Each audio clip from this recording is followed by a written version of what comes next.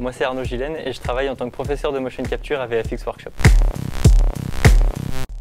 Avec les élèves, on va essayer de tourner une banque de mouvements afin de créer des animations composites. On va passer par l'étape de la création de la motion list, quels props on va avoir besoin, quels assets on va avoir besoin?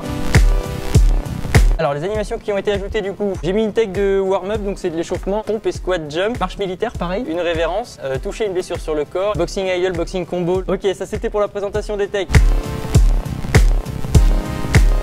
On va préparer le studio. Sur l'acteur, il y aura des marqueurs qui vont être captés par les caméras qu'il y a tout autour du studio.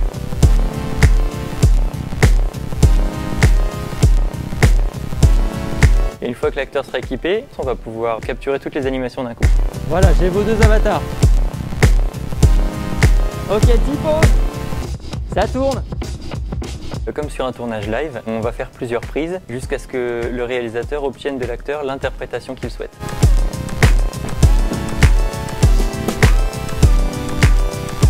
On va utiliser un premier logiciel de capture qui sert à la gestion des caméras.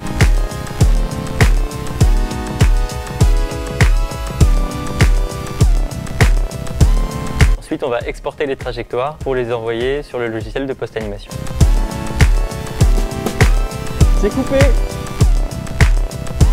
Une fois arrivé sur le logiciel de post-animation, on va retargeter les trajectoires sur le personnage désiré et en fonction de sa corpulence, de son échelle et de ses mouvements, on va faire des micro-modifications tout en conservant au maximum la capture de la mocap.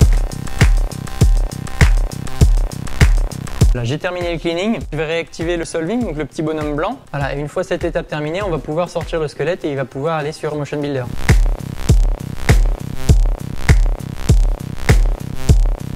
Avec les élèves, on a tourné un cycle de marche, on a conservé un cycle de marche auquel on a ajouté une animation d'attente. Après, on a rajouté une transition entre les deux, une transition à la fin pour aller vers l'attente aussi. Et une fois cette animation complète, on s'est retrouvé avec une animation composite. Voilà, j'ai réparé les jambes. Tourner des animations en plusieurs prises, ça sert à créer une sorte de continuité des animations.